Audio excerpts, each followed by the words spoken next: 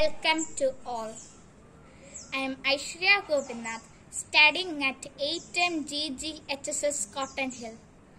Today I am standing before you to discuss about the importance of Teachers' Day. Teachers' Day is celebrated in India on 5th September, the birthday of Dr. S. Radhakrishnan. He was a teacher, scholar, philosopher, and politician. His dedicated works towards education made his birthday an important day in the history of India. In his book titled Political Thinkers of Modern India, he signified importance of teachers and education in the country like democratic India.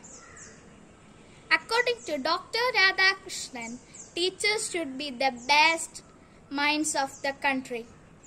According to him, there is a huge role for teachers in nation building. And for that, and for that says, teachers should be respected more.